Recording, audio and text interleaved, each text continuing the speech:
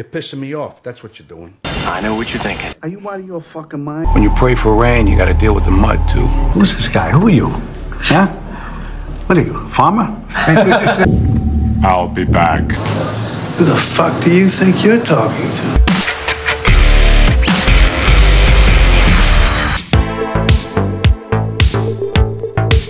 This film is written and directed by Thomas M. Wright.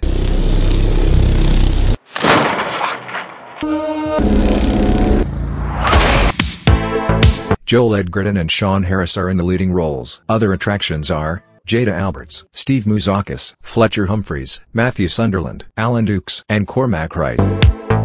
This psychological crime thriller follows an investigation of a child abduction and murder case. This film is based on the book The Sting, the undercover operation that caught Daniel Morcombe's killer written by Kate Kyriacou. This book is inspired by the murder investigation of Daniel Morcombe, an Australian boy who was abducted and killed from Queensland in 2003 when he was 13 years old.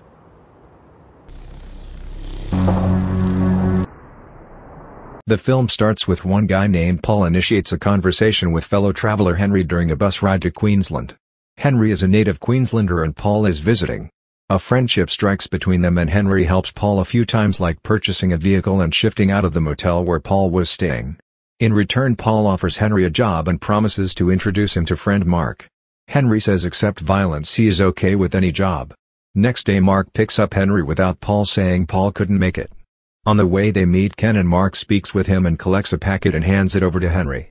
Henry gets a rough idea about the nature of his new job. WA for work. No. I need an address for the transfer of ownership. I've got a PO box you can use. Thanks. I might need to shift out of the motel. I came out here to do a job for some people. And there's a mate of mine, Mark. I'll talk to him about you. I don't do violence. Where's Paul? Get in. In the next scene, we come to know the real identity of Mark. He is not a gangster but an undercover cop who is working on an abduction and murder case of a teenager named James Liston. I'm a sworn member of the Western Australian Police in the investigation into the abduction and murder of James Liston. The next day Mark picks up Henry and introduces to his immediate boss Gary. There Gary raises objection about the dressing style of Henry, also comments that Henry looks like a criminal and suggests getting some proper clothes. Then Gary mentions that due to Paul's previous issues with law, they have to resettle him so there is a new opening in the organization and Henry can join them. Henry agrees. While going back Mark interrogates Henry whether he did the time before and if he is completely honest with the organization about his past face-offs with the law. Henry answers that he was in and out a few times for some petty crimes. This is Henry Teague. It's Gary. Get yourself some proper clothes. You look like a fucking criminal. Ask you if you've done time before. Yeah, man. What for? Been in and out a few times, nothing serious. At home Mark scolds at his kid for breaking a glass and later apologizes to him. He seems worried about his kid's safety, maybe due to the nature of the case he is handling. What did you do that for? I didn't mean it. Sorry, I swear to you. The next day well-dressed Henry meets Mark and they again visit Gary. Gary cautions them to clean up their mobile phones. Then he hands over some money and passport to Mark instructing him to give it to Paul and have a drink with him because Paul is about to leave for London as relocation. Mark and Henry then meet Paul and hand over the money and passport.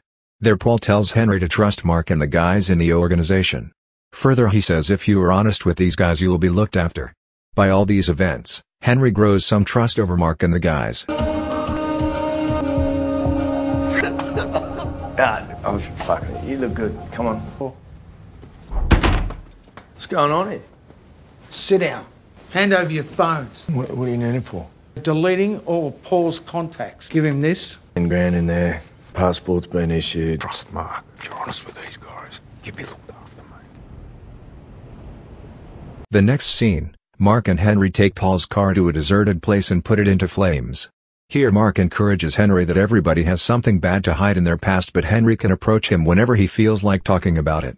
Henry seems mysterious and lost in his thoughts. If you have any issues,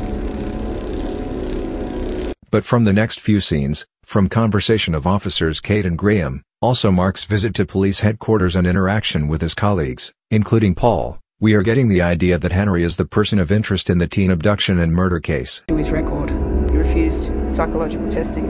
history of violent offences. Time of the abduction, P28's file was closed.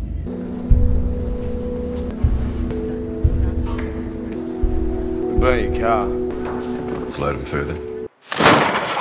Henry was taken into custody by police twice earlier but released due to lack of evidence.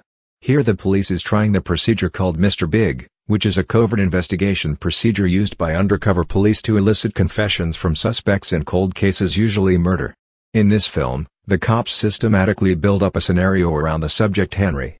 But whether they are able to prove this case or not. Hmm. You better watch the movie. He was waiting by the side of the road. A man standing behind him. We can't discuss that. There's no record of the results here. Out of my fucking head, it was. He's a fucking dumb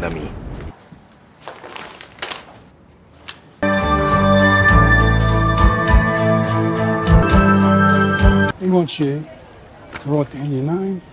Why didn't you fucking tell me? We'll run a background check on you. Henry, whatever your name is. I changed the name years I don't give a fuck. You're still standing there. Yeah, he's anxious.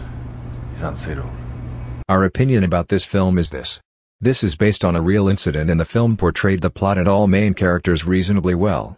Regarding the protagonists, Joel Edgerton as the undercover cop and a worried father is very good. He is a fine actor. But Sean Harris as the culprit is outstanding. His behavior, appearance and expressions did justice to the role. Sometimes calm, sometimes hapless, sometimes disturbed, sometimes eccentric, and on a few occasions mysterious, this guy really lives up to the role. Steve Mouzakis as Paul, Alan Dukes as John, Jada Alberts as Kate and Cormac Wright as Mark's son are the other honorable mentions. This film got a good momentum, it was engaging and definitely a good watch.